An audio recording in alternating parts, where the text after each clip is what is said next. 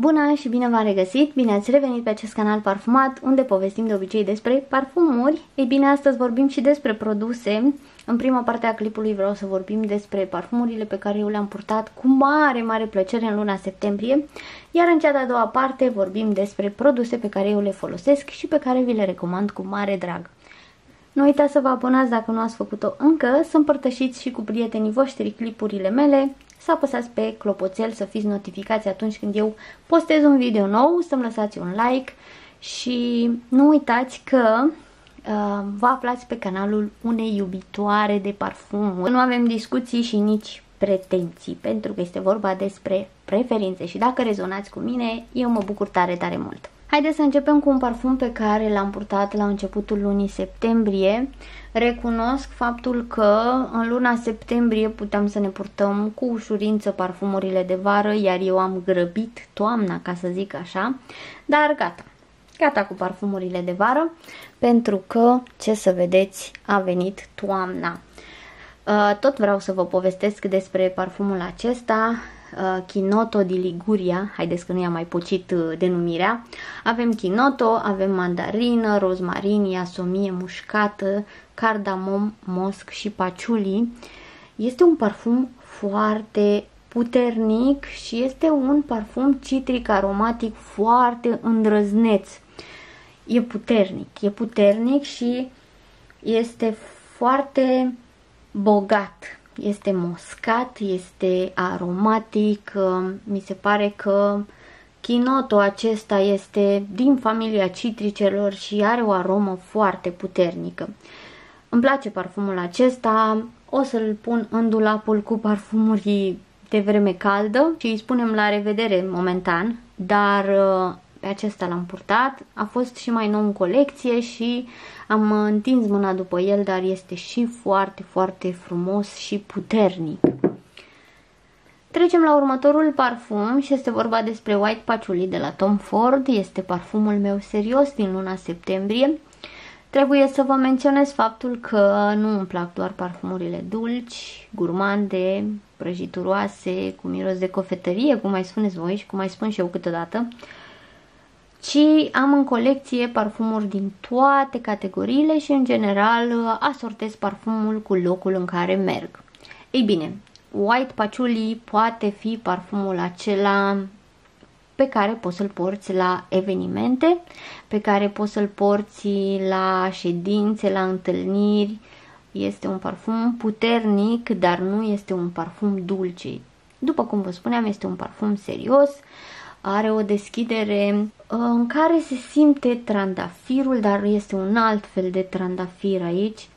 Uh, are și o tentă citrică, dar um, și flori, bujor, trandafir, combinate aceste flori cu un pic de coriandru, un pic de tot, apoi în mijloc um, avem la fel flori și în albă de mosc, este foarte catifelat și mi se pare cameleonic, mi se pare că deschiderea este total diferită de baza acestui parfum, de cum se dezvoltă el. Și trebuie să vă spun că l-am dat într-o zi pe o jachetă și când am luat-o din nou pe mine, am ieșit afară și l-am simțit diferit și nu știam exact a ce miroase. Foarte mult timp am stat să mă întreb ce, cu ce parfum am dat. Da, mi-am amintit la un moment dat, White Patchouli, este un parfum minunat, este un parfum deosebit, este un parfum puternic, um, nu știu, dacă vă plac parfumurile clasice, dacă vreți ceva care nu este dulce, care nu este gurmand, care este ceva mai serios, vă recomand cu mare drag să testați White Patchouli. Nu este un parfum despre care multă lume vorbește nu prea l-am văzut pe la fete. Mi se pare un parfum matur, mi se pare un parfum pentru o doamnă, elegant, deci îl port și eu când vreau să fiu o doamnă. Ați văzut că nu mi iese prea des. L-am și văzut la un moment dat pe un site la un preț foarte, foarte bun și eu zic că poate să fie și un blind. Sigur, uh, are o bază lemnoasă, știu că are și tămâie în bază, paciulii, dar este un alt fel de paciuli. Mi se pare foarte bine blenduit și foarte catifelat parfumul acesta, mai ales când se usucă, are o aromă unică. Eu nu am mai întâlnit aroma aceasta în alte parfumuri. Îl ador și nu știu dacă v-am spus, dar este printre parfumurile mele favorite, nu din septembrie, pe viață. da. Uh, trecem la prăjiturile noastre. Devotion este un parfum pe care îl ador. A fost obsesia lunii și l-am pus și în rotația săptămânii din luna octombrie. Gata, a venit toamna. Îmi place foarte mult parfumul acesta. Da, acesta chiar miroase a prăjiturică cu nuci, cu alune, nu știu când se usucă, are o aromă foarte plăcută. Este prăjituros, este delicios, îl ador, îl ador. V-am spus în clipul anterior despre Devotion și despre Devotion Intense. Sticla este una superbă, absolut minunată și cred că una dintre cele mai frumoase din colecția mea pentru că, nu știu, chestia asta metalică e simplu, dar cu aceste detalii e minunat, e minunat. Da, Devotion. Camera este un alt parfum care mie îmi place foarte mult. Este un parfum intoxicant cu sirop de curmale, cu vanilie, cu note lemnoase, cu pralină. E delicios și foarte dulce, un pic afumat. Um, V-am mai zis eu că sunt acele curmale puțin afumate și delicioase. Îmi place de nu mai pot parfumul acesta. Vi-l recomand, testați-l dacă nu l-ați testat până acum. Nu este o clonă Angel Share, cum uh, aud în continuare că se spune, dar e super, e delicios, delicios. Și ultimul parfum, apoi trecem la un body mist și la produse. Ariz Absolu de la Arabiat Prestige. Îl găsiți pe Dubai Collection, folosiți și codul CC10 Uh, pentru 10% discount. Um, am văzut că au reduceri, am văzut că au produse noi, deci intrați pe Dubai Collection și puteți să vedeți acolo noutățile, dar și parfumurile reduse, chiar au niște reduceri foarte bune. Ariz Absolu a intrat recent în colecția mea și a fost dragoste la primul puf. Este un parfum foarte bun, puternic, este inspirat de Velvet Tonka, este vanilat, mi se pare că are și o aromă de zahăr vanilat, poate de la vanilia aceea pe care o are, tonca, mm, migdale, cireșe, vanilie, multă vanilie. Este un parfum cald, este delicios, este cozy și devine din ce în ce mai bun și mai puternic. Da, asta este parfumul acela pentru vreme rece pe care poți să-l folosești, nu știu, seara când stai în pat într-o pătură pufoasă și te uiți pe Netflix sau când ieși afară și porți un pulover pufos, un hanorac pufos să te îmbrățișeze. Este un parfum foarte, foarte, foarte frumos. Îmi place mult de tot. E delicios și este un parfum cald.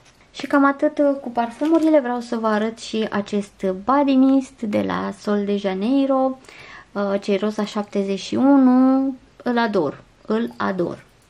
Dacă nu vă plac uh, parfumurile cu miros de cofetărie, să nu vă îndreptați către el pentru că este o bombiță dulce, prăjituroasă, miroase a vanilie, a macadamia miroase și a niște biscuiți, nu știu de ce mă duce pe mine cu gândul la biscuiți, dar este foarte dulce și delicios, favoritul meu momentan de la Sol de Janeiro.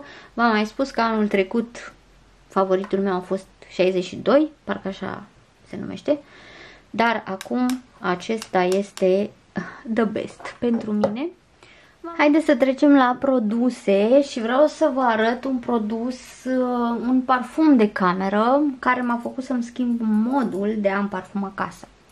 Este vorba despre Areon, acesta cu bețișoare, eu de-abia acum le descoper și vreau să mai încerc și alte branduri și alte arome.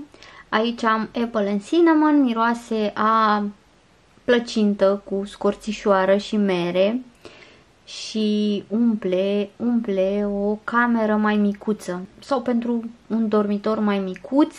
Mi s-a părut că nu a făcut față în living, eu pentru asta l-am luat, dar o să cumpăr unul mai mare și poate o să încerc și alt brand.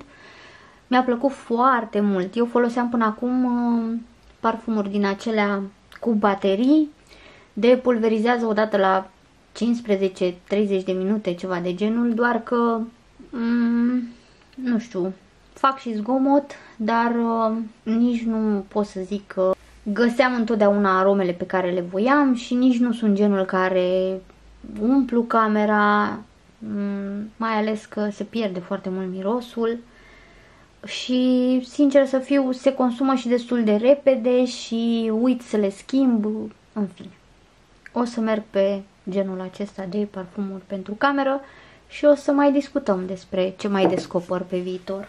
Un uh, produs pentru buze, am zis să vi-l arăt pe acesta pentru că am întins mâna după el în ultima perioadă. În general folosesc ori acest gloss, ori niște rujuri nude roz, uh, din astea destul de naturale. Acesta este Fenty Glow Gloss Bomb. Este preferatul meu, este miroase și foarte bine și îmi place și nuanța. Da, am foarte multe glosuri, doar că acesta îmi place cel mai mult sau mi se pare că mi se potrivește mie cel mai bine. Un rimel. Am uh, cumpărat acum ceva timp acest rimel de la Essence. Când am fost prin DM, l-am cumpărat pe acesta pentru că, nu știu, nu l-am mai văzut. Nu știu dacă e nou, pentru că nu mă duc eu foarte des în DM, dar am ales și eu unul.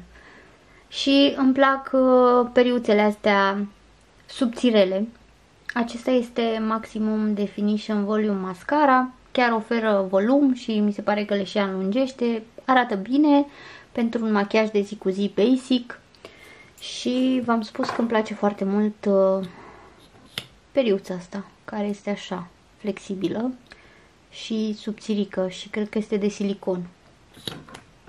E ok. Pentru prețul pe care îl are, pentru un machiaj basic, e super, super ok. O apă micelară pe care am folosit-o este Bioderma Sensibio H2O. Este pentru piele sensibilă și este pentru față și ochi. Asta îmi place foarte mult. Îmi cam ca apa micelară să fie și pentru față și pentru ochi. Și chiar și unele pentru față și ochi mi irită ochii. Așa că aceasta nu a făcut asta. Curăță bine machiajul nu mi irită ochii, nu mă ustură, curăță și e bună, ce să zic. E o apă micelară bună. Vreau să trecem la partea de manicură și din această categorie vreau să vă povestesc despre mai multe produse și despre mai multe branduri. Uh, dacă vă faceți manicura cu o ojă semi-permanentă acasă, probabil că vă interesează, dacă nu, nu, de aceea am și lăsat uh, pe final subiectul acesta. O să încep cu produsul favorit pe care l-am ales eu din această categorie și este vorba despre această ojă semi-permanentă Cupio To Go. Um, nuanța este Holos Gold Star. Așa este și o am pe unghii, mi le-am făcut eu recent. Um, am ales să mi le fac eu acasă pentru că după mulți ani în care am folosit oje și pur și simplu m-am săturat să mi le fac aproape zilnic, Uh, am fost la un salon și pur și simplu după trei zile mi s-au crăpat, nu am simțit că mi l-a, mi l-a întărit cât de cât, deși se vedea clar că eu am o unghie foarte subțire și că am nevoie de o bază mai solidă, în fine. Am zis ok, mi le fac eu singură acasă și asta este și mi-am luat tot ce îmi trebuie. Um, îmi place Cupio, îmi place Melchior, îmi place Gerovital, spun asta pentru că am o bază de la Gerovital care e ok. Și cred că o să-mi cumpăr o bază de la Cupio totuși. Da, o să-mi cumpăr o bază de la Cupio pentru că parcă sunt mai mulțumită de produsele de la Cupio. Am și de la Melchior niște oje și să știți că ca și ojă semi-permanentă aleg varianta 3 în 1. Chiar dacă eu folosesc un top, uh, caut ojă 3 în 1 uh, sau care n-au nevoie de o bază neapărat, deși mi se pare că acesta este și bază și top. Nu știu, sigur eu l-am folosit ca și top de această dată, dar uh, este un top care, nu știu, oferă acest luciu mi se pare că ojele semipermanente, mai ales cele 3 în 1, nu sunt atât de lucioase dacă nu pui și un top să arate chiar bine, bine. Uh, am folosit de această dată topul acesta, dar uh, nu îmi întărește prea mult unghia. O simt subțire, ca la salon. Dar e ok. E ok pentru că acesta se, este soak off, adică se curăță cu soluția de la Cupio, se curăță normal ca o ojă semipermanentă, dar haideți să vă arăt un top care este top, top, top. Acesta. Hema Free este un, e bază și uh, top. Da, acesta este bază și top, dar eu l-am folosit, ba da, l-am folosit și ca bază data trecută. Fetelor, acesta face niște unghii cu un luciu ca de sticlă și întărește unghiile de n-ai treabă cu ele o lună jumate. Bine, ele cresc și nu mai arată prea bine după ceva, după o lună, să zic așa, nu mai arată cum trebuie, deci trebuie refăcută manicura. Dar acesta nu se curăță cu soluție normală de curățat oje semi-permanentă, este Fiber Base Gel. Este un gel de bază, este sticlos așa arată, este puternic, întărește unghiile și totodată nu sare de pe unghii. Deci nu, chiar dacă lovești unghiile, nu crapă. Chiar dacă este atât de tare și de sticlos. Este foarte bun, dar se curăță doar cu pila și mă enervează maxim procesul acesta. Deci, um, după ce că durează mult să-mi fac eu unghiile, că mai ales când îți faci cu stânga la dreapta este horror, dar să mai stau să le mai și curăț cu uh, pila, pila electrică, bineînțeles, e nu. E ceva rău, vă spun. Îmi place foarte mult cum arată pe unghii, este foarte, foarte bun, dar când îl folosesc și mă gândesc că trebuie să-mi refac unghiile, de aceea le-ați și văzut în ultimele clipuri atât de nasoale, pentru că îmi era pur și simplu greu să stau, să curăț cu pila aia. Nu, nu o să-l mai folosesc, deși mă bătea gândul să mă dau peste acesta pentru că arată mult mai bine decât uh, topul de la Gerovital. Este un gel și chiar e perfect. Și întărește unghiile, ceva ce n-am. Am găsit în schimb altul pe Cupio, cred că este nou, care promite la fel să fie un top tot așa sticlos și puternic și strong, care întărește unghiile, dar care se curăță cu soluție, care se curăță normal și nu cu pila electrică. Și trebuie să mi-l iau pe acela pentru data viitoare, pentru că simt că sunt destul de... Uh, nu, simt, simt că o să se rupă la cât de subțiri sunt acum cu topul de la Gerovital. Asta e ok pentru persoanele care nu au nevoie de întărire a unghiei, ci doar de un luciu peste oja semi pentru sigilare, mă rog. Asta este bombiță, dacă vreți să vă curățați unghiile cu pila electrică, e ok te ține la nesfârșit și nu sare, nu sare. Și mai am o ujă aici, um, asta este gama care îmi place cel mai mult de fapt, uh, asta Cupio One Step, Long Lasting, No Base, No Top Coat.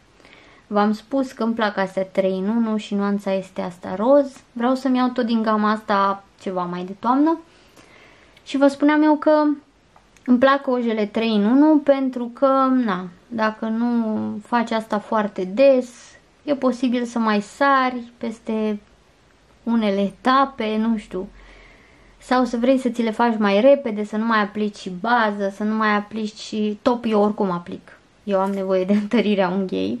Ojele astea nu întăresc unghiile, adică nu, nici nu sunt ca ojele normale, dar nici nu întăresc foarte mult o, o unghie foarte subțire și întotdeauna sigilez cu un top, l-am folosit pe ăsta, dar nu sunt foarte încântată, trebuie să-mi cumpăr altul de la Cupio.